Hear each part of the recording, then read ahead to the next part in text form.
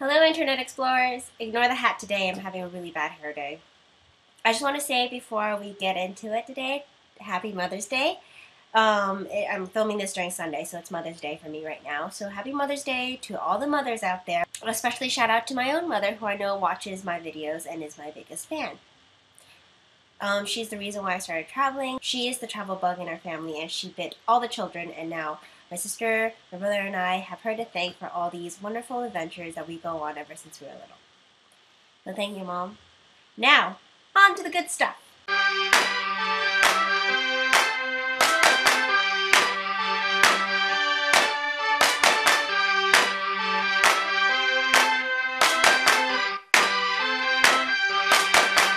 So today I want to talk to you about this thing I signed up for called Postcrossing.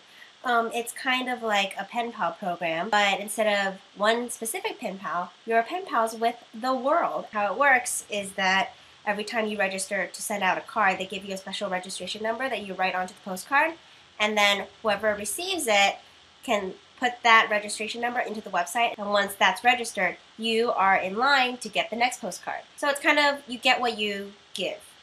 So when you sign up, you write a little bio about yourself, introducing who you are, and also what kind of postcards you like. Some people like me say they like maps, infographics, designing ones. Other people like photos. Some people like stuff with flowers on it or landmarks. Some people also include what they want you to write. Some people say, hey, um, write about how your day was, write a little bit about yourself. The most interesting one I got was actually they asked for the price of milk for where you live just as a comparison, which I thought was great because, like, you know, years later you can look back on it and be like, oh my god, the price of milk was so cheap.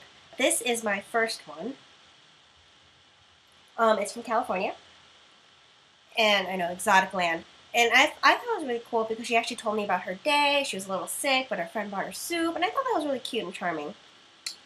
This one I got from a girl in Mexico, which I thought was really cute. This one is Cuteness Overlord. Overlord? Sorry, Overload. Why did I say Overlord? I, I haven't even played StarCraft in so many years. Hmm. This one, it's a card from the Netherlands. How cute is this? It's not just the design that's cute. Do you know what's also cute about this? It's from a child. I mean, I read this and um, it's actually this teacher in this classroom in the Netherlands signed up the class as one account for Postcrossing. So every postcard they receive, you're actually sending it to the school, and they send one back, and it's just so cute. I will say because you are leaving an address for people to send you cards to, um, keep it safe.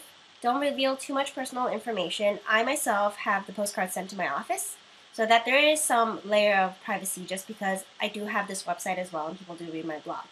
I encourage you guys to sign up and try it because it's a really good program. You don't have to pay for membership. It's completely free. It's based off of donations. All the postcards that I've gotten so far, I'm going to put on my blog. So check my website for all the scans, and I'm going to put a little description on where I got it from. I'm not going to say who I got it from just because I kind of do want to keep it anonymous, and that's the fun of it, you know? So that's it for today. Um, this is my video. Um, I'm going to go and fix my hair and enjoy the rest of my Sunday, and I'll see you guys next week.